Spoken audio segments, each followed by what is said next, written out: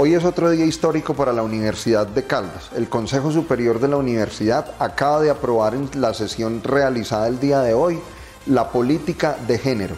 Esta era una política que la comunidad estaba pidiendo ansiosamente y la administración está absolutamente comprometida con la necesidad de tener este documento que nos permite desarrollar acciones en la universidad tendientes a buscar la igualdad de género.